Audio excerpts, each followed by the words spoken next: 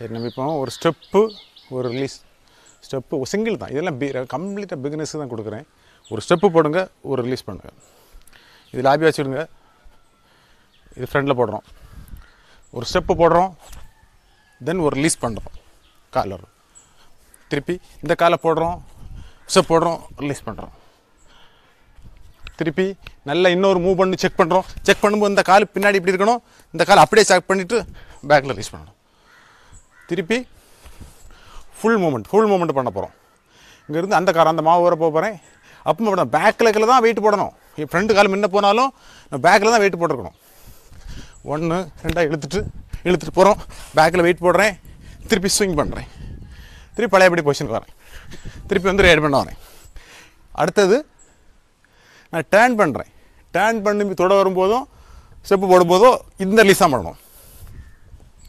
பாருங்க நல்லா மூவ் பண்ணி போகிறேன் கார்னர் இறங்கிட்டாப்புல.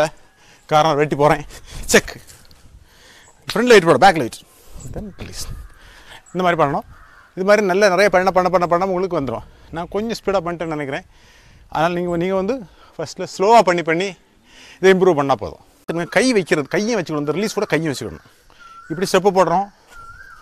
இந்த ஸ்டெப்பு போடுறோம்ல இப்போ அடித்தா கை உடனே இப்படி பிறண்டணும். அப்போது ஸ்டெப்பு போட்டுக்கிட்டும் பிறலணும். கையை இந்த மாதிரி போடும்போது டேஸ் அடிச்சுட்டா இந்த கை வச்சுட்டோம். நம்ம நல்லா ரொட்டேஷன் பண்ணணும். பார்த்துட்டு இந்த வீங்க ஸ்விங்கை பார்த்துக்கணுங்க இது கரெக்டாக நோட் பண்ணி தப்பாக பண்ணிடக்கூடாது. பெண்ட் இருக்கணும். இந்த பெண்ட் இருக்கணும். பாடியில் உள்ள ஒரு பெண்ட் இருக்கணும். இந்த மாதிரி லைனை பார்த்து வரணும். Okay check release then fast release then